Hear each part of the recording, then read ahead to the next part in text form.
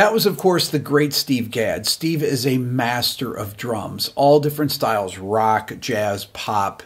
He's played with every legendary artist you can think of James Taylor, Paul Simon, Eric Clapton, Chick Corea, Steely Dan.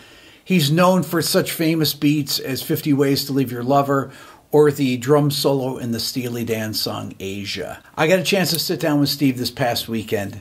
Here's my interview. Steve, welcome. Thank you. We are both from Rochester. You are from Irondequoit. Tell me about your upbringing. My first three years, we lived with my uh, grandparents and my father's brother on uh, Pearl Street. Okay. And then when I was about three, we moved to uh, My parents got, you know, their own house.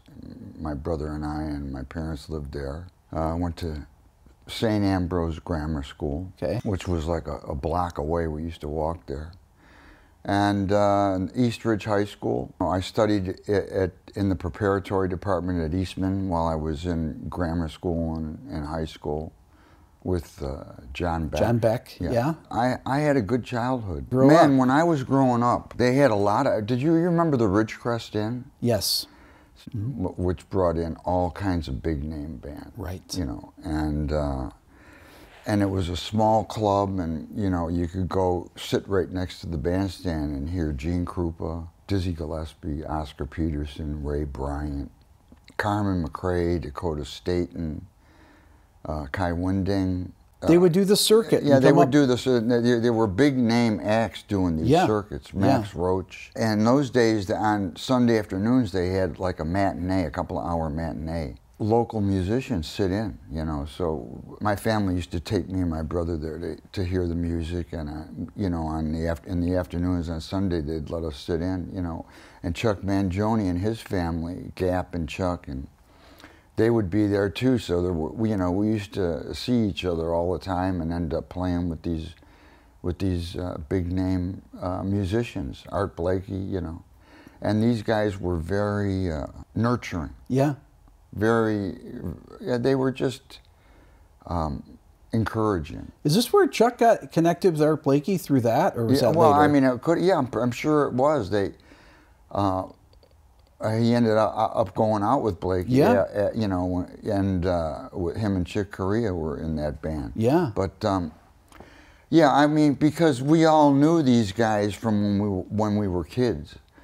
Dizzy gave Chuck a, a horn that you know the, where the, the bell went up, right. which Chuck played for for uh, years until I think eventually it got stolen. Yeah, we were connected with some of those uh, those famous people, not in a real close way, but in, when they came through town, they'd remember us. You know what I yeah. mean? And they would uh, Chuck. Her, his parents would invite people over for dinner, you know, a big spaghetti dinner, you know. Of course. And I just recently saw a picture of uh, Ron Carter and Dizzy over at uh, Chuck's house. Did you know Benny Salzano? I didn't know. I didn't. He was a saxophone player that mm-hmm. used to play with Chuck when they were kids. Uh, they used to go by the Little Giants. Good player. And uh, you know, unfortunately, he just he recently, you know, passed. We lost him.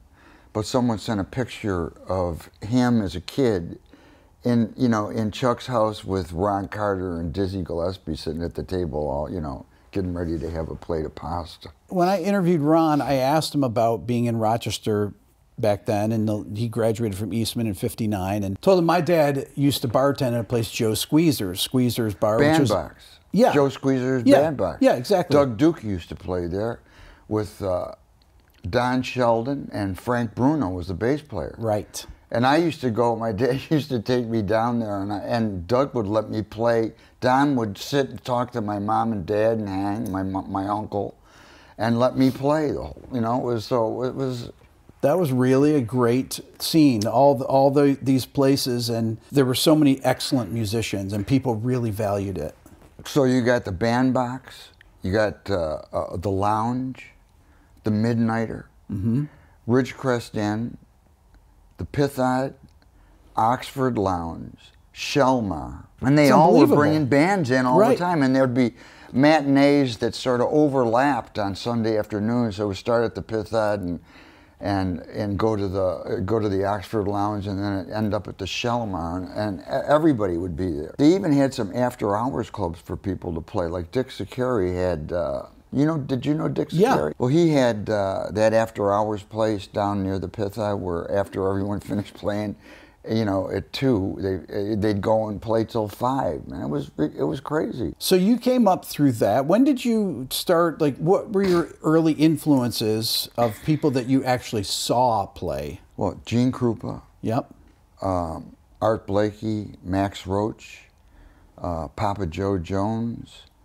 Um, uh, you know, I mean, uh, uh, Jack Franklin was playing with um, Kai Winding. And this is amazing, actually. These people would that you'd actually see these people. I, I'd sit right next to the bandstand and look at the drummers. Or Yeah. That's the best way for me to, to learn. Yeah. like, you know, I, I like to be up close so I could see, you know, what they're doing. And, Yeah. And they were all very um, open about sharing information, and it was great. It was a very loving and nurturing uh, situation. I first got to know about you through your playing with Chuck. we were working like six nights a week at at the lounge, with, you know, with Chuck and Gap. Then with with me and Tony Levin, we're working six nights a week with Gap as a trio while we were in school. Chucky and I connected when we were young. Played like six nights a you know played. Uh, I worked in, with him and his brother when I was in high school. When I went to college, that's when Chuck went with Art Blakey and Chick Corea was in the band. And then when they left Art, Art Blakey's band, they came to Rochester. I was in college by then. I, I had transferred from Manhattan School of Music back to Eastman. Yep. So in the two years I was at Manhattan, Chuck was out with Blakey, and when I got back, we he put this band together with Chick and Joe Romano, Frank Polero, and me, and we were playing at the uh, at the Midnighter, uh, six nights a week, with, and it was it was fantastic. And you would be playing what? But standards, you Yeah. know, and Chick's music. Uh huh. Uh, you know, it was like those guys were. We were all into uh, Miles. Mm-hmm. Chuck had always been into Miles. You know, he, he, Chuck, Miles was a hero. You know, of all of us. We used to wait for his albums to come out, and uh, and he, you know, he'd have great rhythm section. Jimmy Cobb, you know, Paul Chambers, or you know, or Philly Joe. Wynton Kelly, and then you know eventually Herbie and, and Ron and Tony and all these, the the rhythm sections sort of set the pace for how Miles was, what the music was. You know what I mean? It- Yeah. And when Tony and, and Ron and Herbie started uh, playing with Miles, that was a whole different approach to playing. Then the 50s straight quintet. ahead, right? Yeah. And we were all we loved that. You know what I mean? And uh, and Chick really loved that kind of uh, looseness and freedom and um, rhythmic understanding. You know what I mean? So you could play around with the time and but no always know where one was. You know what I mean? So that was a, a, a great experience for me. When they got off Art Blakey's band and we were I was in college and we were working uh, six nights a week. Uh, I had a 22 inch bass drum that I had been playing. And during that gig, I bought like a, a smaller set, an 18 inch, because that's Like a what Tony, kit. Yeah, that's what Tony was playing. Yeah. And uh, and when I, when I switched the drums out, Chick wanted to come and see the new drums that afternoon, and and sat down and played the little kit, and it was it, it was so uh, educational for me because I had been trying to figure out what guys like Elvin and Tony were doing by listening to records, because those two guys I didn't really see them play live. Yes. You know, the, they came after all of that. I was out, really out of Rochester then, you know, and there wasn't as much going on there. But so when I saw Chick, it made things clear that I had been trying to understand by slowing the LP down to 16 and dropping the needle to try and figure out what Tony did on that fill Yeah. or what Elvin did on the fill, you know. And and you can only take that so far. And then when I saw Chick, just the way he sat at the drums and how, you know, he didn't play the hi hat on two and four. It was just, just free, but with form in mind. You Yeah, know what I mean? Not yeah. just playing. I mean, there was like a, there was like bar structure and stuff. And it just, it clicked. just opened, yeah, it just put, yeah, I was able to put some pieces of the puzzle together be, from being able to see Chick, of understanding things that I couldn't really decipher, slowing the records down, listening. You know, so and. Uh, and I think what I learned was it's it, it it maybe it's not as really so important to get it exactly as the way the guy did it is to understand his approach. And and you know so you do it that way and you get it as close as you can. I mean if you can get it exact it's great. But other than that if you can if you can uh, capture the feel and the essence of what he did musically you know then you can start to apply it you know and uh, it was uh, it was good so you must have seen these guys play later on then, right? You saw Tony and Elvin play. Mm-hmm. And what did you, when you saw them play, did you say, oh, did it, did, or was, at that point you had already developed your own. well, you know, thing? I mean, that, when I saw them play, I mean, I had, you know, de, you know, developed my way of emulating those sure. guys. Yeah. And, um, so, uh, you know, when I saw him play, I could either tell that I was, you know, on it or, or I didn't do it exactly the same way, but, but the intent was there, you know? So I got it as close as I could, you know? You're on a lot of those chick records in the, in the mid 70s, early mid 70s, Leprechaun and Mad Hatter and Spanish Heart, I think. You're, and, and friends. Friends, yeah. So that connection with Chick goes back it goes way back. It goes way back. It goes way back. When I was in the Army, I went to New York to see Chick play at the Vanguard okay. with, um, with Airto and Flora and Stanley. Mm-hmm. That music just killed me. Mm-hmm. And hearing Airto play the, that stuff and the Brazilian stuff on a set of drums, the samba, I, it was it killed me. I, I told Chick, I said, man, the, the music was great, and uh, you know, boy, when I ever get out of the army, if you ever need me for anything, I would love to do it. You know, I just put it out there. He put a band together for when we were doing when he was doing hymn to the seventh galaxy. Mm-hmm. It was me, uh, Stanley, Mingo Lewis, and a guitar player named Bill Connors. Oh yeah. And we rehearsed all of that music, and the band was great. But he wanted the whoever recorded to go out on uh, on the road. I had a little baby, and and it was I just it wasn't the right.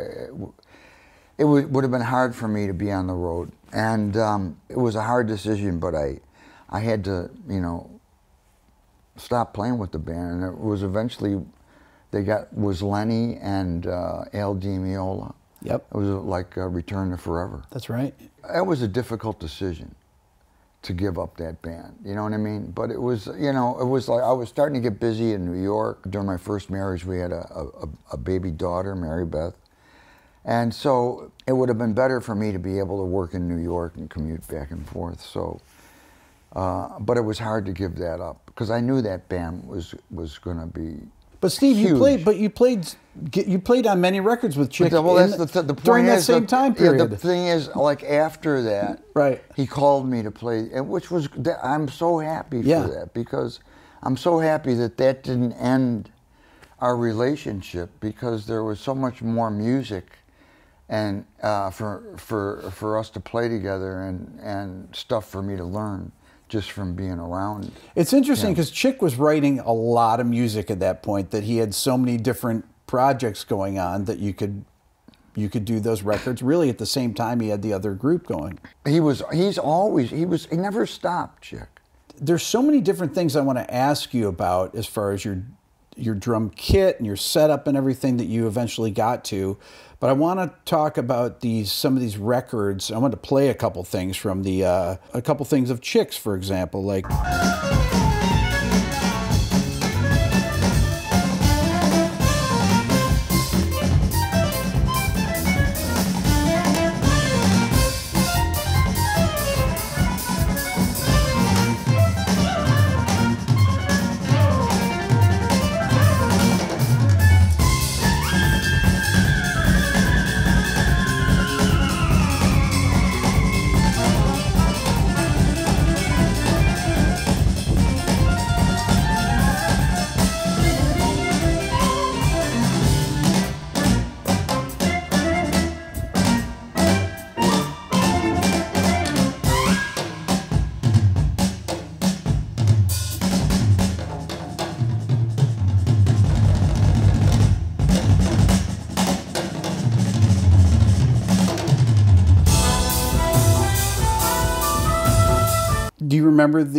Remember doing this, right? Um, yeah, we did that at, at Electric Lady, and we did it live. Yeah, I mean, Were you reading charts? Yeah, Or were you? you know that that session I, I was came at the right time in my life because I mean I I had finished five years of college, I've been in the army for three years, reading Your reading chops every were- day. Yeah, I mean your reading chops are good, determined by the amount of reading you're doing. That's right. You know, Yeah. and uh, so could read anything at yeah, that I was point. yeah, man, I would attack it. The pages I read off the piano s- score. You know what I mean? 'Cause- Uh-huh. Yeah. Which had everything in it. Because it was like trying to play, uh, you know, come up with percussion for an orchestra. That's you know, it was trying. That's the approach. I came to see you play with the Three Quartets group um, in Ithaca. You only played a few shows with Brecker and, and Eddie Gomez, you and Chick. Okay, it was 1981, and it was your first show, and you went to Ithaca, New York, and you guys had charts that were literally on the going across this thing, and it'd be. I remember Brecker move, moving stuff like that. Just It was crazy. incredible charts, and this is what it would be like in the studio, We, right? I'd have to. There were, you couldn't put. I mean, there was no way to. to we'd tape it to the wall, and then we'd we'd have you know cymbal uh, boom stands without mics that we'd like suspend tape, and you know, and it would be all the way.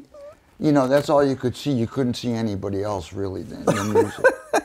but I mean, you know, I, I- was hungry. You know what I mean? I was hungry for it, and I loved it. And uh, and I mean, it was like all of a sudden I, I had a chance to to uh, apply everything that I had done up till that time, and, and, and it helped me. You know what I mean? Now it, it'd be hard to do. You know what I mean? If you don't read every day and stuff, Yeah. it's just. But you know, I was like uh, in my twenties. yeah. You know, so your tom sounds were very different. You had the really fat, lower tuned toms, and those are small drums. That's Those are small kit- drums. That's a little kit that I that I. it's so together. powerful. It's so fat sounding, though. That was a, a 10, 12, 13, and 14 Okay. on the floor. Would you have a a- 18 as your kick there, or was that a 22? That was a 22. Okay. It was a 22 Gretsch. okay. And then I, I had bought I, I, I I bought some Pearl concert toms, eight of them, and they had one head on them. Yep. I had bottom heads put on all of them, and then I chose the ones that were the most tunable and where I could, you know, effectively use them for different situations, so Yeah. I wouldn't have to be changing gear. You know, if you got, if you have uh, drums that have a tuning range that you don't have to, you know, you don't have to change as much. You know, and Bernie Kirsh, that was the first time that he had done. Uh, well, that I had worked with him with Chick, you know, and that I think that was his first time working with Chick for Leprechaun, and, and they've been were together until he died. From then until he died, Bernie did all his all the albums, did all the live shows for Chick. And he started out as uh, a house engineer at, at Electric Ladyland. When you would do a take like that, would you go back in the control room? First of all, you guys were all sitting around each other in the same room, correct or no? Was anything isolated? No, You'd we were all, I mean, there was a uh, the the the electric plant had a had like a, a wall around the drums. you know, Okay. not a full drum boost, but Okay. halfway up. You know what I mean? So it blocked, but you could see. You could see, everybody could You see could- each uh, other. Yeah, except when you put the music up, then you had to pick and choose who you were going to look at. You know? Would you go in and listen to takes after you did them, or would you just move on to other songs? No, we would. Uh, Chick would listen. You know, we rehearse a lot and then do a take and listen and then do another one. Uh, you know, but we he re- he was really good at rehearsing the band, and the musicians were for that music. I mean, their reading and their playing was Everybody It could- was was fantastic. Oh, pros. If they haven't passed away, they're still people that are still playing Yeah. for a living. Man, they had a string section on there. I mean, it was an incredible. String Yeah, amazing. um, great horn section. I, I think they had, uh, what wasn't Eddie Gomez and Anthony Jackson? Both. Yeah, I think on that? Playing on that track, but Eddie Gomez and Anthony are on that record. When I when you guys played this three quartets band, it was amazing because um, Chick said this is the first night we're playing. Uh, we're only doing five shows or something like that. You just put out the record, which I love the three sets record. It's one of my favorite Chick records, and and the band with you and Eddie and Mike Brecker and Chick. It, that was just such an incredibly powerful group. I want to play something actually off that.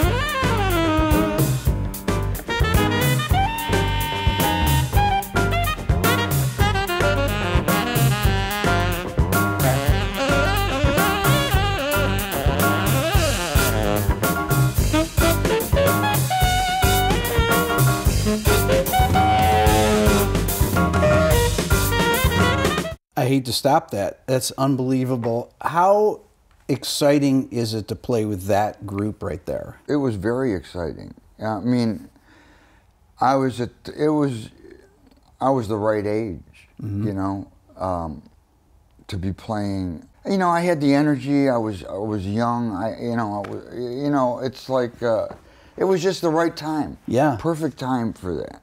There's a there's a power to that piece right there that is just with the vamp that you guys are just playing over the that intensity of that is to me indescribable. It's as heavy as any rock thing can be. It's it sounds it has the power of rock but the harmony of modern jazz. Yeah i, I was just starting you know thinking about you know when i listened to that uh, what drew chick and i together. I, I i mean i think that he appreciated my uh, love and, and understanding uh, of jazz, of guys like you know Tony and Elvin, Art Blakey and Philly Joe, all the guys that he loved because he loved those guys. He could play like them. But he, I, I think he also musically liked the uh, my uh, understanding of the groove from doing some pop things. Yeah. You know, I, I, I and or and playing with a band called Stuff. I, I really understood. Yeah you know how important the groove was. Because if you can if you can lock that in then you can build the Empire State Building on top of it and it'll support it. But if it's if it's not locked in at the bottom then it's great. You know it could be great and everyone could be playing great but it doesn't have the cohesiveness of somebody trying to play underneath and and let everyone know what the form is without overstating it. But yeah. just you know just like at the beginning of the phrase, you know, maybe accent the and to four. Not not one all the time. But you understand yeah. there were ways to let people know where we were without like throwing it away and, and making it too uh, obvious, you know. And uh, and they liked that kind of tension and because uh, they had I mean Brecker, man, he could just play forever. Yes. And Chick could too. They could just solo. I mean, to be able to be supportive and to go, not to make them go there, but to go with them. You know, it's, uh, it's a young guy's uh, thing. You know what I mean? I'm Yeah. glad I did it when I did it, Yeah. and I'm glad they recorded it. we could listen back to it. That that recording is incredibly. It's it's so well recorded. It sounds so fat to this day. You hear it through here, and it's just the bottom end is full. Kick drum is, you know, just Yeah, Bernie. He was, you know, Bernie knew, man. It was, uh, you know, I, I, I had some kind of uh, a, a technique uh, from being in the studio, mm-hmm. and a lot of those guys would do were, were jazz people who did an album and would go out and tour. Yeah. but not they. A lot of them weren't as interested as I was in the the pop kind of thing. Right. I saw the. Um, I, I saw the challenge, and. Uh, and and the seriousness of people making pop records. It wasn't just you know they they were, they were serious musically about what they were doing. So I, I think that that helped my uh, him, uh, you know that awareness helped. It's, it's pretty crazy music, but it's pretty cohesive too. too. You understand the difficulty of the of playing a part. I'm going to play you another thing here that's that you've heard a million times, and this is 1975 or so. This is you with Paul, Simon. Simon. This is one of the most classic grooves of all time.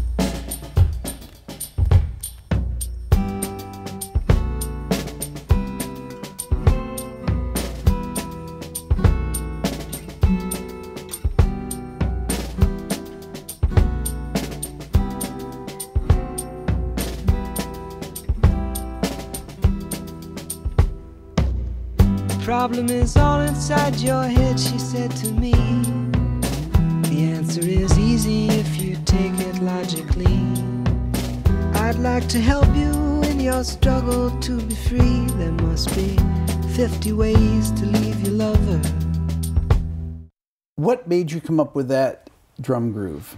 Well, if you play the next section, Which I will. the bridge, the the chorus, Yes. uh, it's uh, I'll, when it comes up, I'll show you. Yeah. The the, the, the chorus fell Total into field place. change. Huh? It's a total field change yeah, there. and that. But we were not.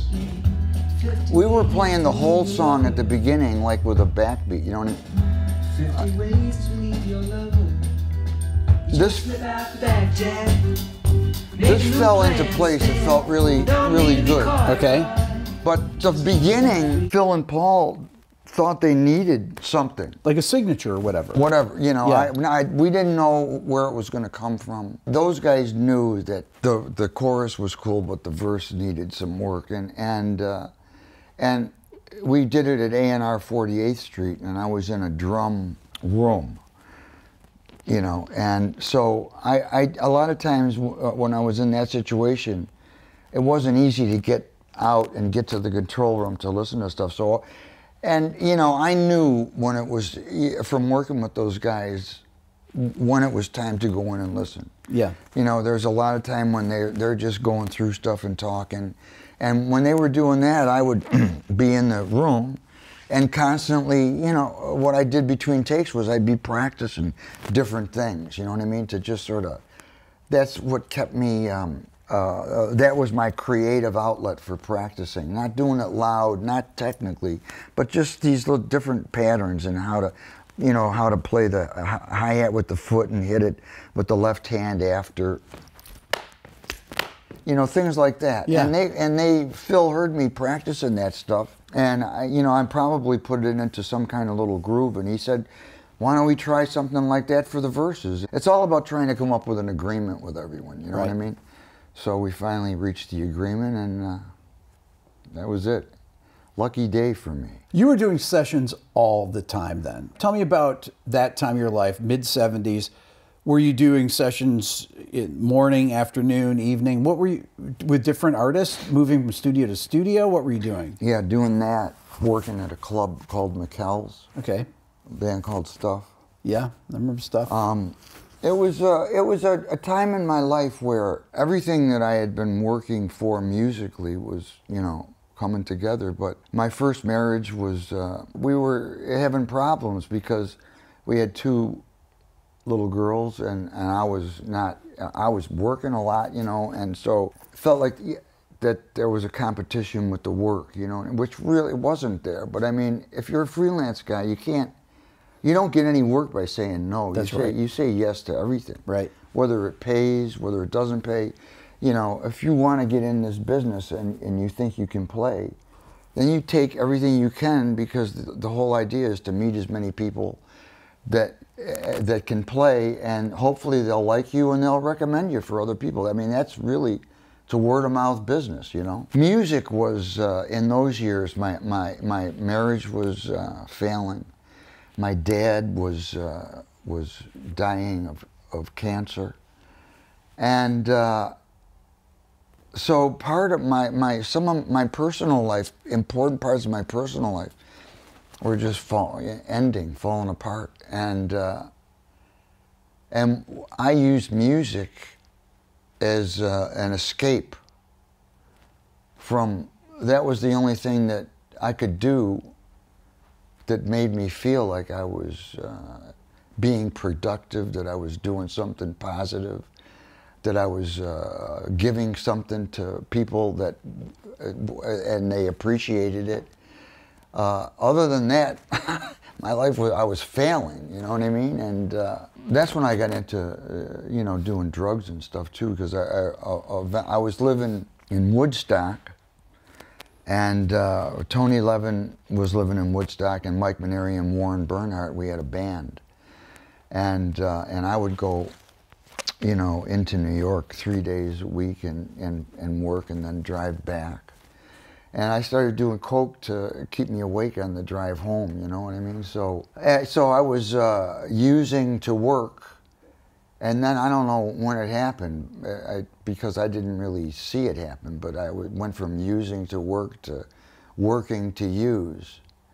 And I didn't even know when it happened, you know what I mean? That's how subtle and, and uh, baffling it, it can be. You were in Woodstock, traveling to New York, doing sessions. Did you, at some point, make it out to LA to live out there? Or did you always do your work in New York?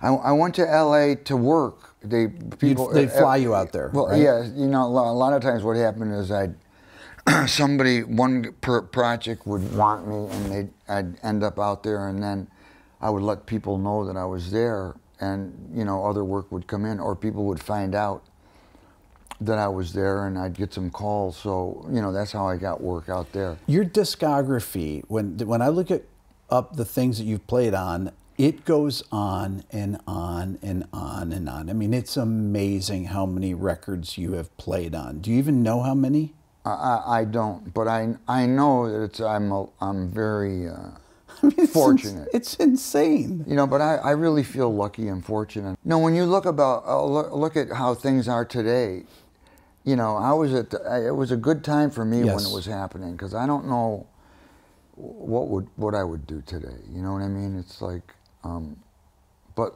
during those years, it was just perfect. So I want to ask you about Aja. I recently interviewed Chuck Rainey. Chuck told me that this was an overdub, that you came in and played and he wasn't there. He played bass on this. But he wasn't there when we did it, right? He said that, that you were playing to a click, he thought. He wasn't sure, but he thought that you played to a click. Because I've interviewed other people that have played on this session, and everybody has kind of a different story about You know, it. and I'll tell you, there's a, a lot of it that I don't remember. okay. Uh, I'm sorry to say. I, I- I mean, I was. It was at a time in my life where, like I said, uh, you know, I was running away from uh, problems and just taking one thing after another to keep. You know, music was the thing that was was saving me. So, uh, you know, I had. They didn't call me, uh, hire me to go out there and do that. I was out there, and I got a call because they heard I was out there and asked me to come in and do it and uh, and I, I just I heard that they had tried it with different people, and um, and, and you know not that the stuff wasn't good. It just they didn't. They were looking for something else. They yeah they were looking for something that it was hard for them to communicate what what it really was. And you So, would have been reading a chart, right? I was reading it. Yeah. Okay, okay. So then, hold so on. that part, that part that Yeah. we're, we're listening to now is sort of like a pop way to try and play that stuff. It's like grooves. It's like the section repeats. You go back to the same thing. You know what I mean? It's Yeah. like it's like or it's like a part. It's orchestrated. You know what I mean? Yeah. And that's you know when you're playing that kind of music, that's what you try and come up with because it makes it easier to listen to Yeah. it connects with the listeners. You know what I mean? And when it gets real busy, it's hard to connect. You know what I mean? It's, it's so Let me play the part with you. And for those of you, this is Steve playing a solo along with Wayne Shorter. well. who Wayne wasn't there. Wayne overdubbed. Wayne overdubbed. But, I'm, But the I wanted to say that Wayne just just passed recently. The the fact that that he's on it and we're playing together is it's unbelievable, right? for me. Yeah. It's a it's an incredible. Uh, it, it was just incredible because he, he was he is and and he's such a giant musically, man. You know, and I love the way he, when he was playing with Miles, the way they played together. And I mean, I don't know if anyone played with Miles the way like Wayne did. Man, he was you know unbelievable. And then the stuff he did with Weather Report. I mean, what an amazing uh, musician. And uh, so the fact that I'm on a on a record with him is pretty incredible for me. Let me let me play this.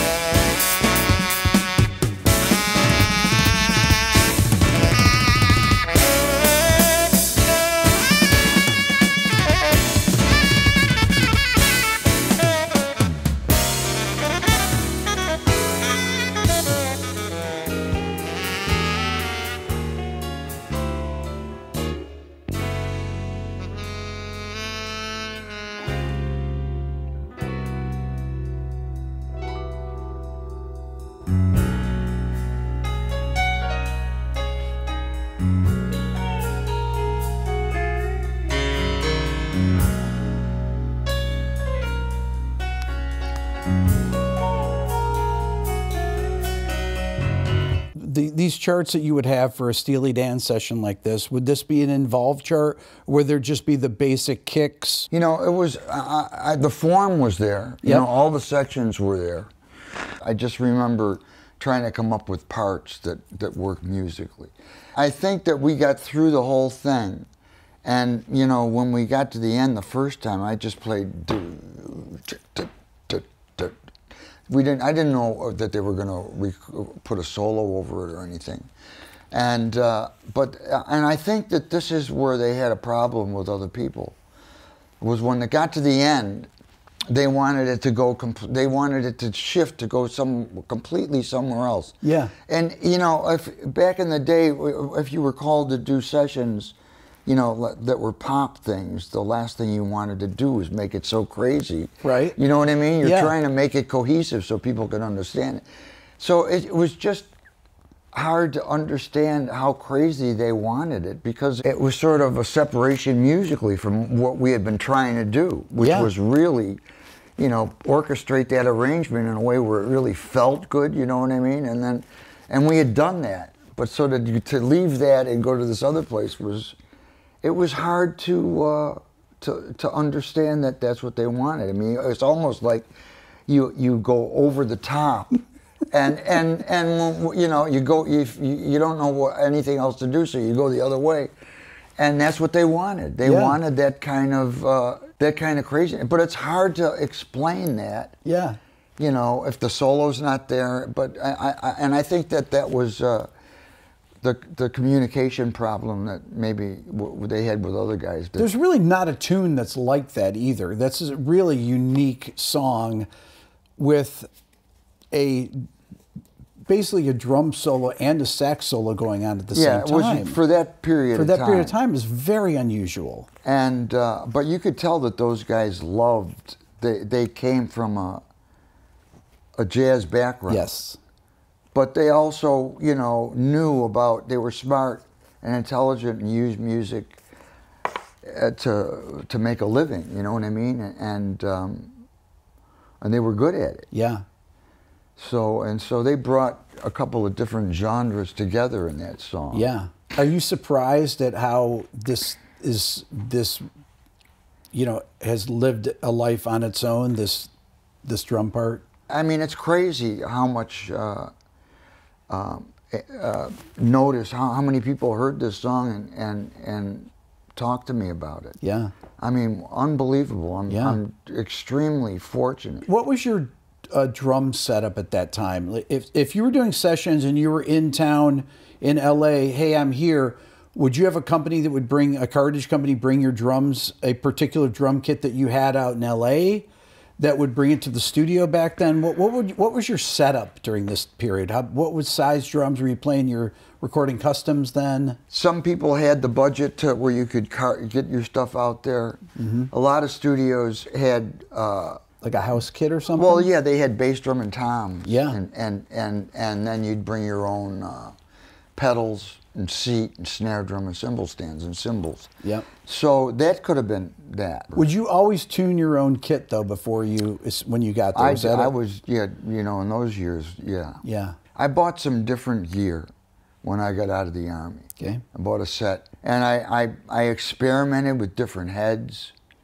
Uh, you know, I so I learned a lot about um, you know tuning from building that set myself and from trying different things. You always you played with a lot of the same players throughout your career. There, you know, these, these guys that would be on that would do sessions all the time. And were there people that, and you don't have to name people. Were there people that you would be like, oh, I'm psyched that they're on the session that I get to play with them because I really connect a with lot them. A lot of time in the '70s. I mean, getting called to play. You know, it's like a lot of times the artists that were were uh, had deals. I, I didn't know who they were, but I knew all the sidemen that they were hiring. Man, Right. like uh, Will Lee or Chuck Rainey, Gordon Edwards, Richard Tee, Paul Griffin, uh, Frank Owens. Uh, you know, you I, I- all the Spinozza, Tropea. Those being able to play with those guys was even uh, more exciting the- than the artist. You know what I mean? Well, I, you know, because I didn't Yeah. know they were young artists. They didn't know. Sure. it. Some of the artists were were weren't that experienced. They were talented, Yeah. and they they they were on their way to, but they the musicians were could help them along, and those musicians, while they were helping the artists, helped me learn how to help the artist. So. Uh, yeah, I mean, I, I you know, the, the the the stars of New York for me in the '70s were the the guys that I wanted to do sessions with. You know, Would you always know it was you if you heard a song on the radio and you were playing drums? no, no, not always. I mean, if I knew if it was a hit and I knew I played it, I would know. But sometimes. I say, you know, I, I didn't, I didn't realize because well, it wasn't like I was trying to do something for myself. I was letting the music dictate what I was supposed to do. So it was less personal. Steve, what do you do for warm ups and things like that? I know that you have you have a rudiments or a Gaddiments. Normally, before a gig, you know, I'll, I'll, I got these sticks with, and uh, um, with rubber tips, so I can play on a, on a counter or on a table in the dressing room, and and uh, and what I would do, I would just go. Uh,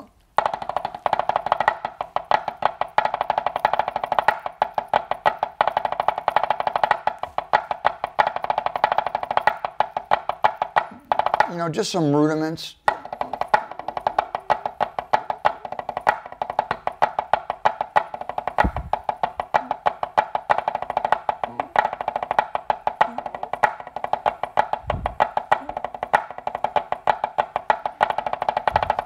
Know, things like that. And I would do that before the gig for, you know, 10 or 15 minutes. And then go to play the show. And then uh, when, when COVID happened, and I had, we had all this time, I figured, well, I gotta, I don't wanna, I don't wanna let time, that, a lot of time go by and not do something. Sure. I don't wanna have to fight coming back. Yeah. You know, so I, I started ju- just doing that little 10, whatever I did before the, the show. But there was no show, so, you know, 10 minutes would turn into an hour, two hours. And um, before I knew it, I was back into, you know, practicing again, and I started. You start writing these things yeah, down? Yeah, new things, new ideas and sticking started to, to come to me just from, you know, just from being in that zone. And, uh, and I started to understand about displacement. So, and once I got into that, it opened. Uh, uh, it's like everything that I practice now. If you know, if I displace it, it it it Explain becomes. that. Explain well, all that. right, so here it's like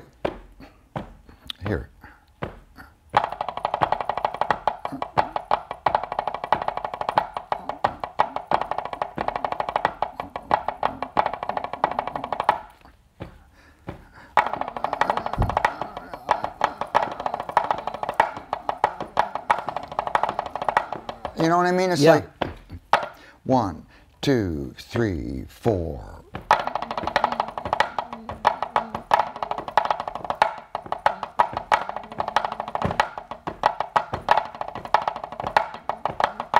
That that's the same thing that I did. Same sticking, The, the same sticking. But you're just displacing you where you displace it, started. and every time you displace it, Yeah. it's like you're. It's like completely different. And, Yeah. and so, but not in a way where technically, you're. It's technically the same, but mentally, In the brain.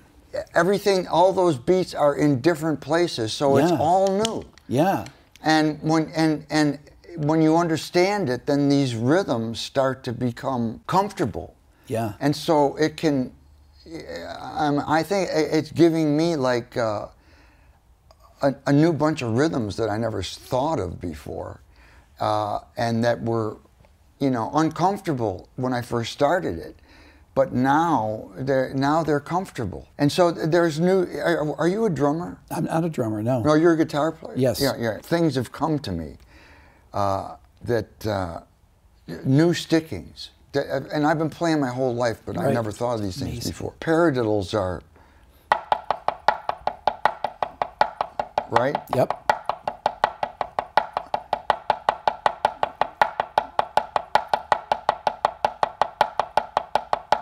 So paradiddles are, are a, a, um, a basic rudiment that drummers use a lot, and it's like the single. Uh, they're mostly single beats, and they end with a double. Right. But now, yeah, I, I sort of come up with these new things where it starts. You start with a double, Okay. and and and and you try to make most of most of the rudiment use doubles and and and and only two sets of singles, so you can play them faster. So it's like.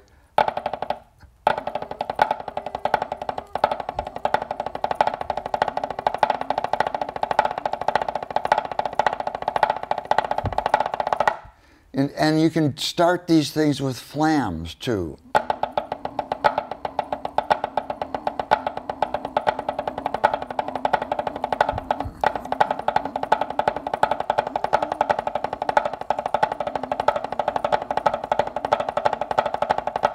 Then you can displace that stuff.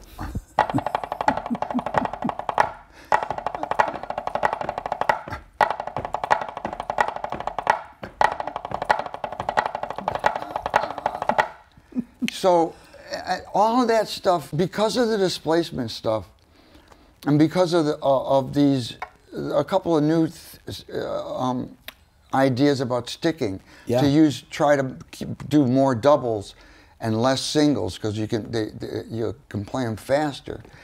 Uh, it, there's a lot of you know. It's just everything is feels new to me. You know what I mean? Is it amazing after playing so long to come up with all this new these I new mean, ideas? it's crazy, man. I can play something every day that I never played before, just based on on this displacement thing, and you know, I haven't even really tried to take it to the kit. I've been just working it.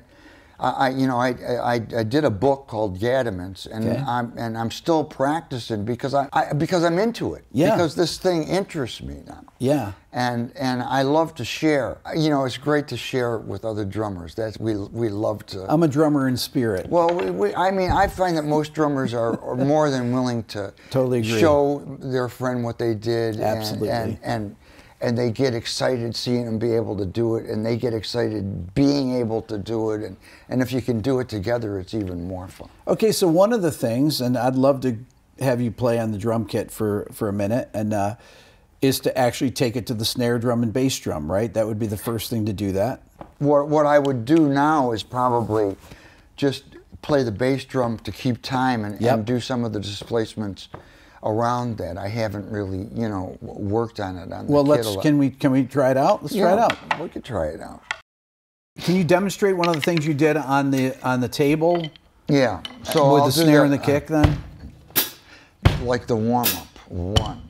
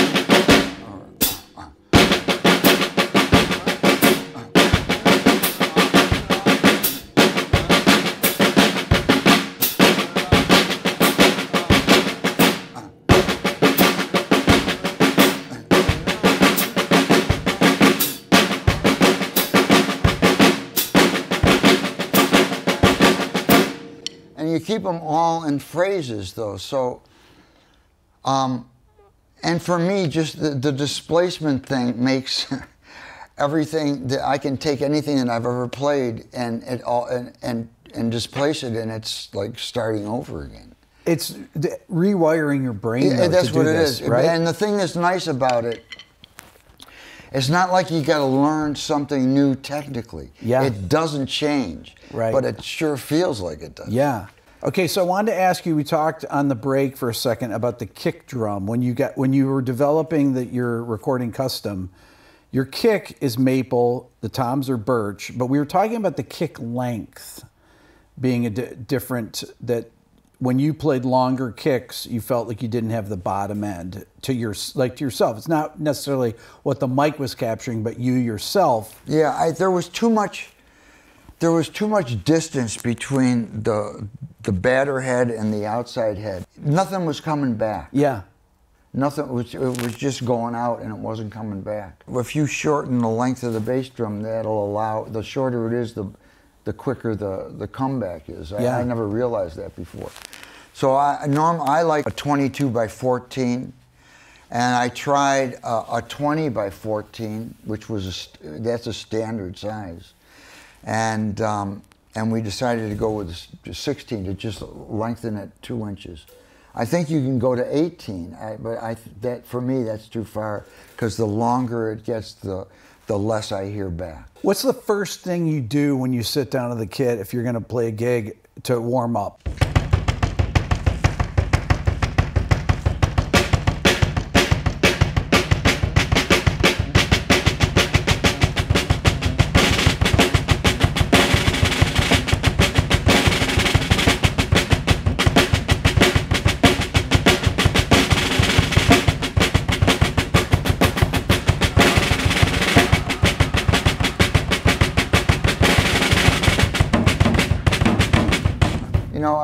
try to keep this.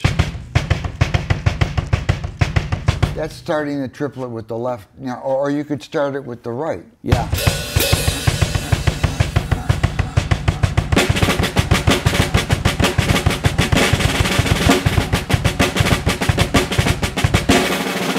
So it's all those different things, you know, like, so you, that's starting it with the left foot, or this is starting it with the right. And I usually, you know, I usually double something on the right there. So uh, if, if you change where you're starting at, the double is in different spots. And then if you try to just continue that and play phrases over that, Yeah. do you know what I mean? Yeah. It's like depending on where you start that triplet pattern, it all changes what you're doing on top. You know what I mean? It's just, um, and you can apply it to, you know, you can apply apply it to what you're doing on your foot. Just with the triplet thing, you could start it at one, two, three, four. That's playing the double on, on the right foot at the beginning. Now you're playing with a with a double kick pedal here. Mm-hmm. And when did you start doing that? Probably the late 80s. Why would you do that though? Why? It's, is it because you there were things that you wanted to play? You know, well, at the end of songs, yeah. You know, when you when you got to play, you know, like uh, it, it helps. Yeah. You know, it helps for being able to play louder and and and and, and trying to make one leg play really fast. Yeah. You know what I mean? It evens it out a little bit more. So that's why I originally did it. And then the more that it's there, the more you can you start trying to you know apply it. You know what I mean? So.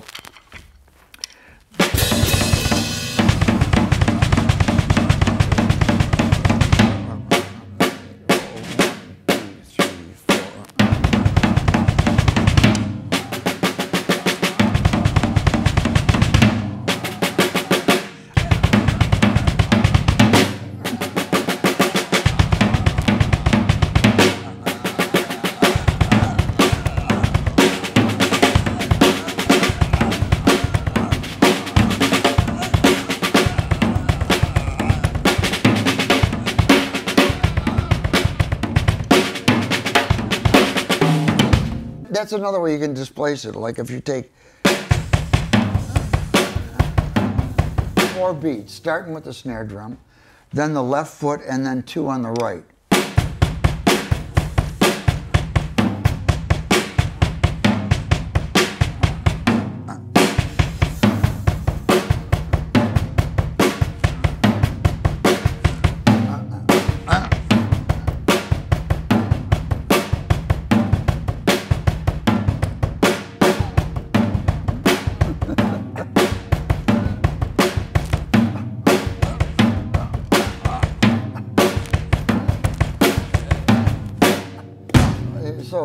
Could displace them and do it in, in phrases and try to come back on one of the next phrase. Uh, you can work on your technique, you work on your time and rhythms. You know, it, it you, you just it just you have to start understanding new rhythms to to to be able to make it comfortable. And, you know, and then all of a sudden, if it gets really comfortable, then you got a, a new trick that you could depend on. You know what I mean? It's great that you're practicing and working on new stuff Man, all the time. I, you know, I uh, for years, I mean, I, I didn't. I would warm up and I'd do gigs, and I was working a lot, so I it wasn't a lot of practice. But Right. it's, it- man, when you, it's it's so nice to be to to be back, and um, and I, I can do all of it on a table if I want. I mean, uh, you know, to understand you know what I want to take to the kit. You know, so it's like I can do it. Take a pair of sticks with rubber tips, and I can play on anything. You know. Don't you think it's incredible though that you can learn things, new things like that, and and Unbelievable for me. I've been playing my whole life, and and uh, and you know, practice before the pandemic was just sort of trying to keep everything up to par. Right. You know what I mean? But now, every you, this is like opens up a whole new ball game. You know what I mean? You know, new stickings start to show themselves. Yeah. I mean, it's like How long does it usually take you to get something in your playing that you're practicing? Because I always ask people this. I remember seeing a um, uh, interview with Mike Brecker, and he said that he would have to practice something for about three months or so, and then it would start to creep into his playing. But it would be about that long. Yeah, this is different. You know, this is more of a. the- These exercises start to show themselves better when you play them longer. You know what I mean? So. Yeah. Yeah, I, I- can. I start using some of this, some of the stuff in solos. Yeah. Uh, not a lot though, but I mean, like.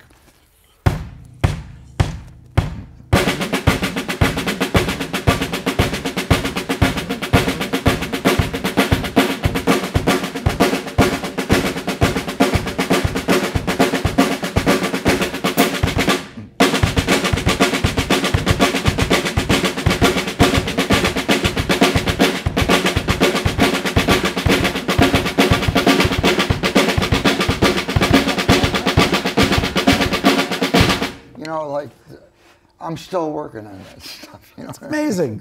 That sounds incredible. that sounds And that's from that's that's that's an exercise that came from taking this. Uh, which, is not a flam paradiddle. It's one of those new stickings that starts out with a double and ends with a single, but taking it and displacing it.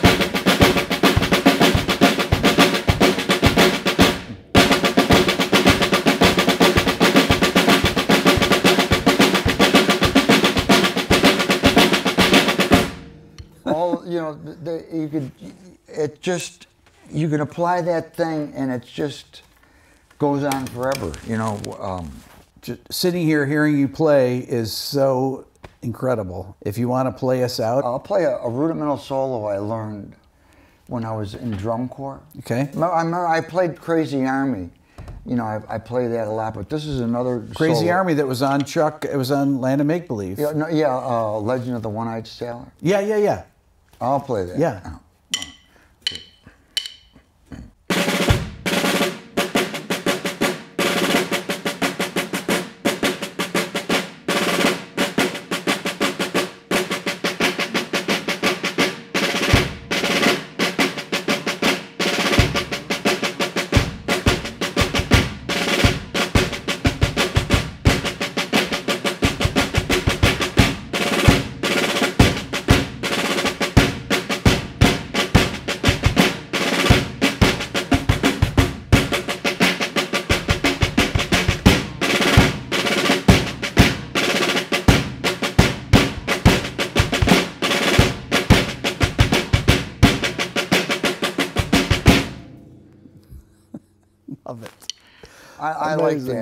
Like that solo. I like that. I'll play one more. This was a Riley Raider solo from the '60s. These guys played it.